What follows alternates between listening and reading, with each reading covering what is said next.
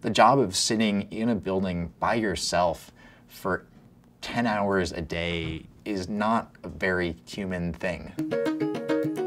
The future of work is changing, is absolutely changing. Work has become far more social and collaborative. We don't go to office as much. We work from home, we work from coffee shops, we're traveling a lot. We can work from anywhere. The most important aspect of our business is the people. The big question is how can we cultivate and retain that talent? The workplace of the future is dramatically different than today. We're seeing a lot of different services and technologies coming together to provide a better environment for people to work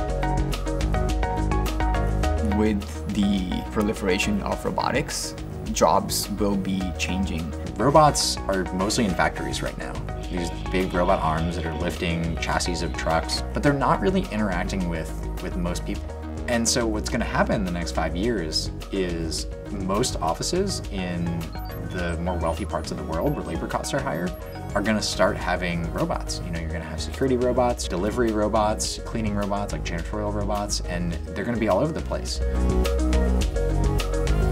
We're not just making something that's going to live in a lab, we're making something that real customers are going to use. Robots that will patrol around uh, your office building your warehouse looking for anything out of the ordinary, and video call in a human security guard to handle the situation if needed.